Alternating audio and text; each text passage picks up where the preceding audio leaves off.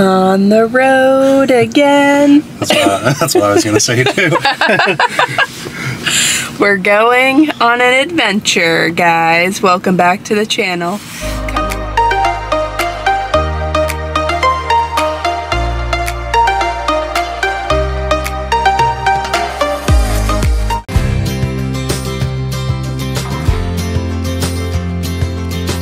Currently, we're filling up our gas tank, and we've been here about four months in Oregon, and we're still not used to the fact that we can't pump our own gas here. but we are getting premium gas for the price of regular because Costco's regular gas is down. So that's cool. That's cool. Good, And- good touch. After this, we're headed for our first time since we've been in Oregon to In and Out Burger. Oh man. It's about to go down. Been like a year and a half since we've had In and Out Burger. It's time. Got the goods. Animal style cheeseburgers. It's been a while. It's gonna be good. So we got a little word of advice here. I don't know. I've never seen this at another In and Out, but they had peppers in there. So I was like, these are weird looking little pepperoncinis. I was like, they're tiny. These are weird. Well, these tiny little things are the devil. These right here are what we call butt burners. they are hot. I like hot food. This right here has some spice. So heads up if you're in Oregon. I think we're like we're around Salem, Keizer, Oregon. They're hot. They have them here at this In and Out. But on to our stop for the day slash evening.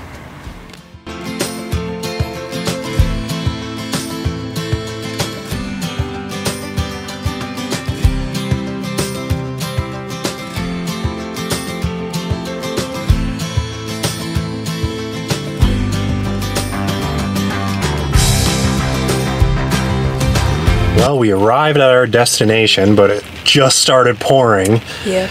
Uh, it's 3 p.m. They close at 5. We are at the Evergreen Aviation and Space Museum. They are a member of Harvest Host. So we're actually going to stay here tonight. This place looks amazing. Uh, and we're going to do a tour tomorrow morning. We're going to go check in right now. Uh, then cook up some good dinner here shortly. Probably just hang out, relax, enjoy the rain. Uh, I can't really I mean, we could if we want to get soaking wet. Uh, they just have there's jets There's and airplanes everywhere. like all over. It's a Yeah. big facility. Uh, three, four huge airplane hangar style buildings. I don't know if they were hangars and they were converted. Hopefully it'll be nice tomorrow because there's a lot of stuff outside. Yeah, I mean, there's like a park over here. Like Yeah. a- it's like a literally a huge park. Signs uh, says what? Be prepared. prepared. Uh, so it's a Boy Scout. Yeah, that's Boy Scouts right there. Be prepared. I was a Boy Scout. and so that looks like it's some Boy Scout park back there dedicated to them that's on the property. Uh, there was like a vineyard on the side too. Yeah, there's a vineyard, there's Yeah. a water park, Yeah, wing, I mean, this Wings place and Water nuts. Water Park or something like that. there's a theater. Yep. Okay. Well, I was actually wanted to watch a movie, but they uh, have a break right now, and their other movie doesn't come out till this weekend. Um, but every day they do like special 3D movies, um, but then they play like regular in theater movies. Uh, but it's like a five day break in between movies. So I looked online and because we were gonna go uh, watch Ant Man, they had playing Yeah. up until last week, and then starting this weekend they have a different movie. It's the middle of the week right now. So we're gonna go get checked in and uh, stop ranting, and we'll check back in with you guys here uh, shortly. So now that we're all checked in, what do you want to do? Want to pull the projector down and watch some Teen Wolf? Oh my gosh, everyone's gonna judge us for watching Teen Wolf. Hey, we needed another supernatural series, Yeah, but we're almost done it already. so pull pull the thing down and let's watch a movie, well, TV show, till it's dinner time. We got probably two, three hours till we cook dinner, so.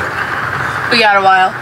So we've had a lot of people ask in the uh, comments, uh, this dehumidifier we have, uh, what kind of power consumption does it use? So I'm actually looking at our uh, Lithionics battery uh, app right now, and we're pulling a 3 amps, 41 watts, I don't know if it's gonna focus. There we go. And we have the dehumidifier on and the automatic cat litter box. So if you, Brittany, can you unplug the cat litter box real quick? I want to see how much of a difference it makes because it's not actually running; it's just powering like the screen. Now it's unplugged. No change. Okay, so that doesn't really consume any power. So yeah, three amp draw right now, 41 watts um, currently, and on our batteries right now with our power consumption, that means four days, 10 hours worth of battery. So pretty nice to have that big lithium battery setup. But yeah, we're going to uh, click on the projector right here and uh, get to watching TV show. Like we said, don't judge us. We're watching Teen Wolf. Um, we've watched like every series possible, so it's a lot of series. Um, and just so you know, so I have the power consumption now up with the projector running. We're pulling 5 amps, 68.2 watts right now.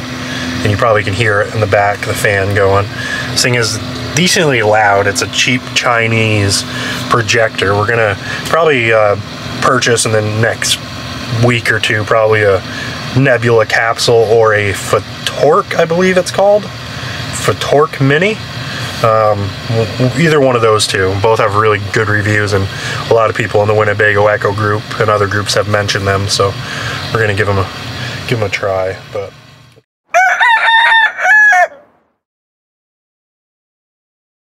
well, good morning. As you guys can probably tell, we did not cook that delicious meal last night. Brittany working nights. Uh, she kind of gets on a bad schedule, I guess you could say. So she didn't sleep yesterday, and she ended up falling asleep at like 6 p.m., 5:30 p.m. Uh, so I just snacked. I watched some some movies, and that was about it. But I'm gonna go inside because it is.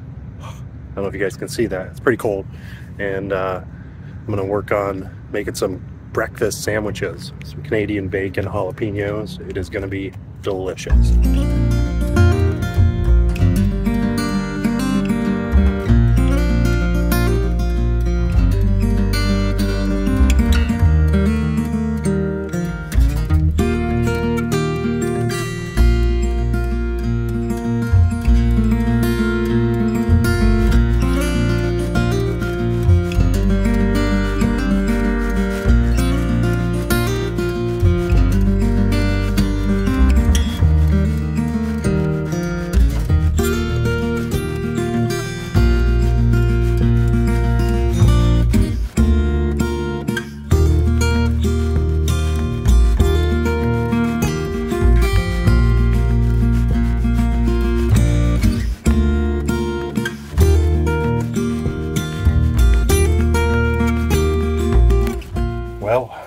Breakfast is served. I, of course, had to throw on the, it's actually serrano peppers. They didn't have jalapenos. And Brittany doesn't like hot stuff like that, so just made hers plain. But let's munch down on this and then uh, wait until this museum opens so we can go check that out. Finally, uh, going into the museum. We enjoyed some coffee. As you guys saw, I had a good breakfast. Go check this out. Probably be in here for a probably a couple hours. It's pretty big. So as you guys can see, the one behind us, there's another one right here. This is the theater. And then this is the main museum right there. So it is pretty large and extensive. So check it out. Hopefully they let us film. We'll see. Check out that. And it looks like Red Cross may be doing a blood drive today here. Cool. So maybe we'll maybe we'll stop and get blood. I don't know. But this thing is pretty large for sure. And over on the other side of this building, there's actually a plane on top of that building over there. You guys can't see it. Let's see if we can go in that.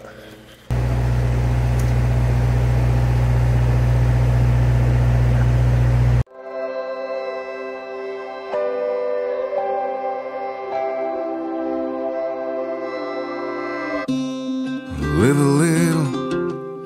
flip the page and Give it some more, getting out of my way. I was hiding bulletproof, forever waiting.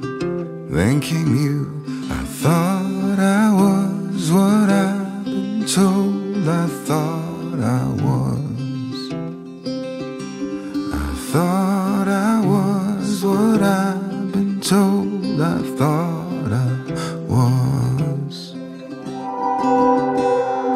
Was picking up the pieces of yesteryear's life in over my head, trying to figure out. I was going through change. Uh, we just came out of the aviation museum. So over there, that's the aviation museum, and that's the space museum over there. So we didn't like. I didn't really I didn't realize. know. I thought they were all in one. So Yep. this place is gigantic, and because we're Harvest Host members, we actually only had to pay for one admission. So uh, you get one admission included uh, with your stay if you're a Harvest Host member. So that's really, really nice what they're doing here, and it's all like veteran volunteers in there. Um, They got most of them, jackets on. yeah, most of them have like their bomber jackets, their patches. Uh, most of them look like Air Force uh, veterans, which makes sense. Aviation museum. Uh, saw a couple of Army vets, uh, and they just love to chat with you and and they know their tell you stuff. all the information. It's probably the best people you could get it from in there. Yeah, so uh, we got to see the Spruce Goose, um, Howard Hughes uh, creation that got its 25 foot flight for a mile long. Yep. Uh, quite an incredible story. Taxi, as they call Yeah. it. Well, he was only approved for taxi, Yeah. but he he, uh, he actually got off the ground, well, off the water. He was in the bay. to prove a point. Yeah. So, really incredible. Definitely recommend if you're ever in the McMinnville, Oregon area to check this place out. But we're going to grab a snack now. Good thing about having our home on wheels. And then we're going to go check out the Space Museum over here. And if you have kids, they have these really cool play area that has uh, Looks like a space, space shuttle. so it's I think that's awesome. I would go and play on that, but you know, it's pretty big. it rained. So, like, you- can see all the space behind. That's all fields and everything over there. Uh, set up for like hanging out, events and stuff, and Yep.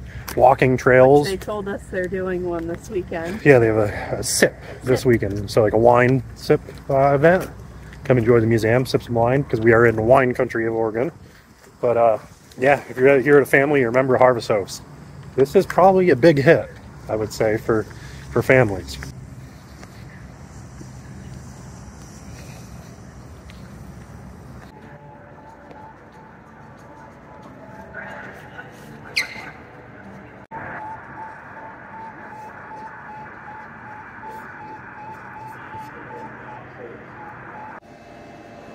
Look at that.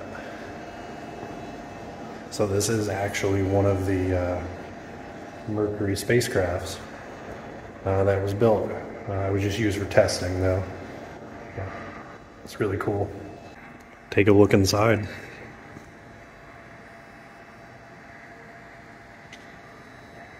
Pretty spectacular. And if you want to know a little bit about the history, it's right there.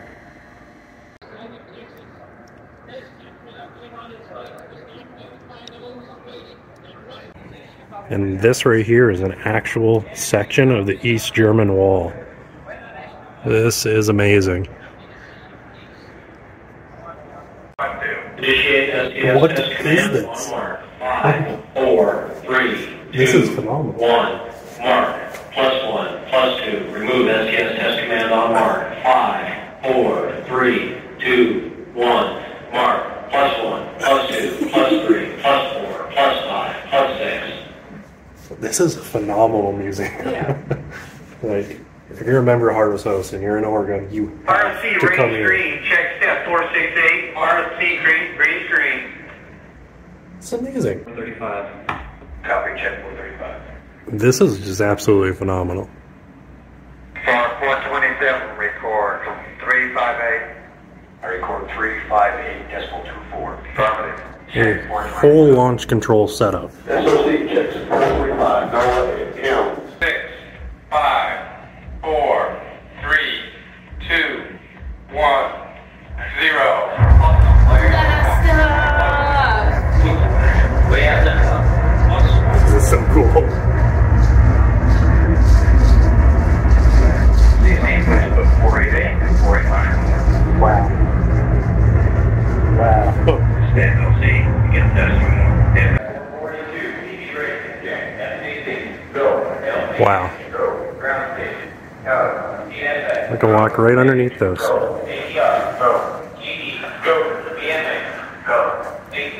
Go. Check, 442. That is so cool. 443, didn't work. I mean, look at 443, didn't work. just how big this is. record 0.4 meters. I think I've said it enough, but this place is a hit. Very, very cool Harvest Host stay. For sure.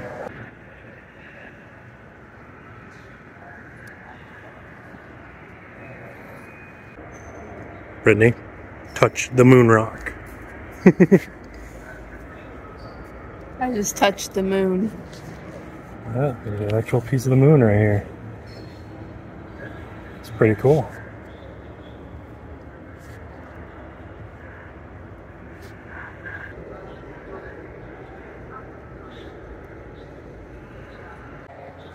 Brittany thinks that his helicopter hybrid is cute. pretty small. we are now in the helicopter section.